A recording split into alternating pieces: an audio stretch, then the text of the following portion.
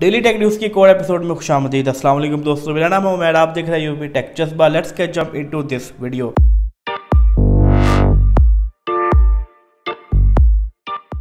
और यहाँ पर है मेरे पास बहुत ही कमाल की टेक न्यूज़।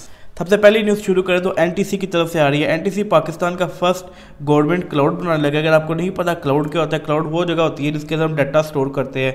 एक बादल नहीं होता, असल में एक डाटा सेंटर होता है जिसको क्लाउड का नाम दिया जाता है। तो पाकिस्तान के अंदर पहला डाटा सेंटर बनने लगा है वी एम वेयर के साथ मिलके।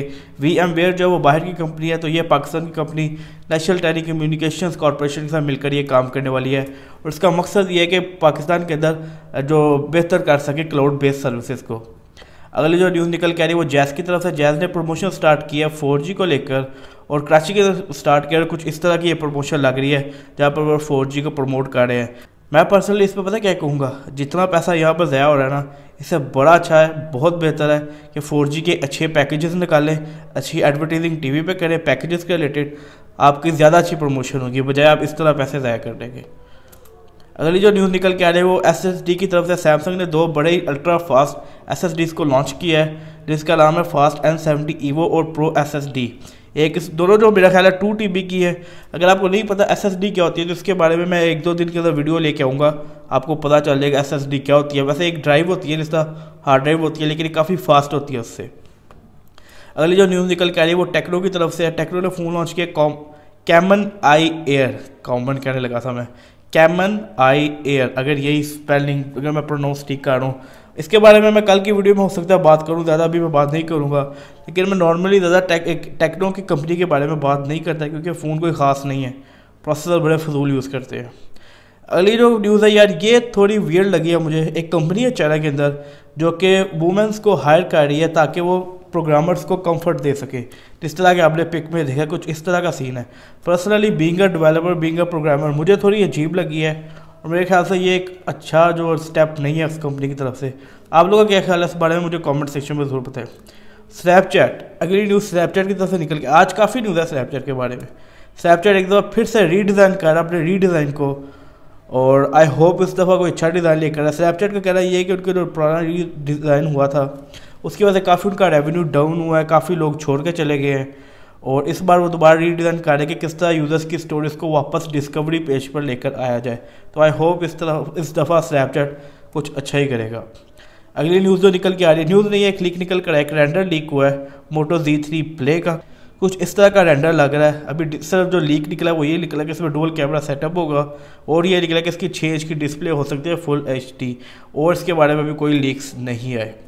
अगली न्यूज़ जो निकल के आ रही है वो नूबिया की तरफ़ से। नूबिया कंपनी है चाइनीज़ जो कि स्मार्टफ़ोन बनाती है। और इन्होंने अपना गेमिंग स्मार्टफ़ोन लॉन्च किया है। और मुझे एक चीज़ की समझ नहीं गेमिंग स्मार्टफ़ोन लॉन्च तो किया, लेकिन पिछले साल के प्रोसेसर के साथ कह लो कि एट थर्टी फाइव है।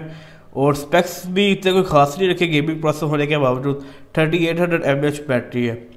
दो हज़ार अठारह के अंदर मेरा ख्याल है स्नैपड्रैगन एट फोर्टी फाइव आता तो एक ज़्यादा अच्छा गेमिंग फ़ोन बनता।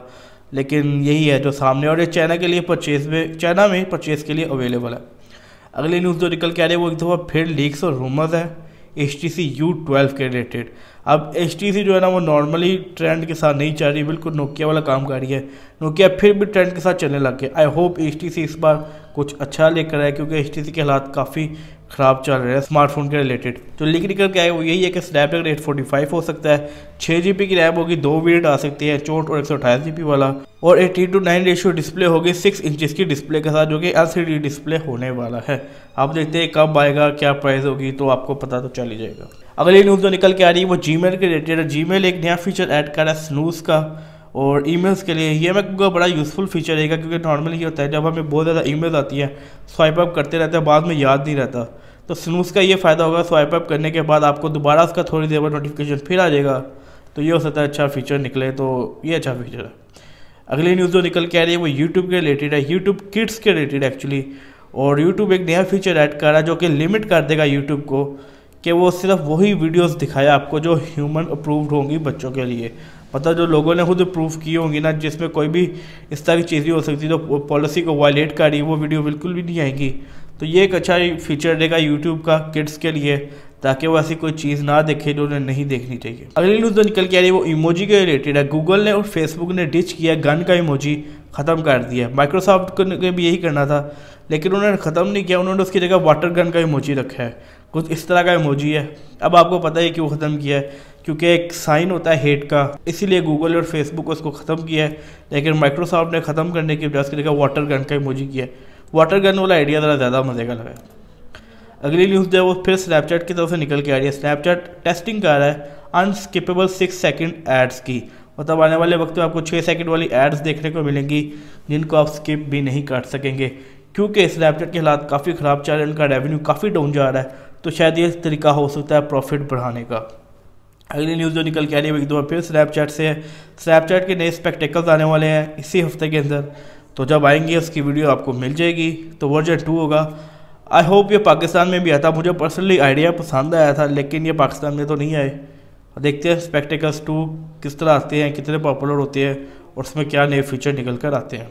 अगली न्यूज़ जो वो फिर एक दफ़ा स्नैपचैट की तरफ़ से स्नैपचैट नए लेंस टेस्ट कर जो कि अब गेम्स एक्चुअली मतलब जो आपको पता फेस पे इमोजीज आते हैं, अब आप उनके थ्रू गेम्स खेल सके कि ये टेस्ट कर है। इसके रिलेटेड स्नैपचैट ने यूट्यूब के ऊपर वीडियो डाली है, जिस पर लिखा हुआ है इंट्रोड्यूसिंग स्नैप पेबल्स आप वो जाके वीडियो देख सकते हैं। बस ये थी आज की टेक न्यूज़ तो ये थी सारी आज की टेक न्यूज़ मुझे उम्मीद आपको वीडियो अच्छी लगी होगी। वीडियो अच्छी लगी, वीडियो को लाइक करें शेयर करें और चैनल को ज़रूर सब्सक्राइब करें, क्योंकि मैं रोज़ाना सात बजे और नौ बजे आपके लिए वीडियोस लेके आता रहता हूँ। फ़िलहाल इस वीडियो के अंदर इतना ही। मैं फिर मिलूँगा आपसे कल सात बजे और नौ बजे। अल्लाह हाफिज़।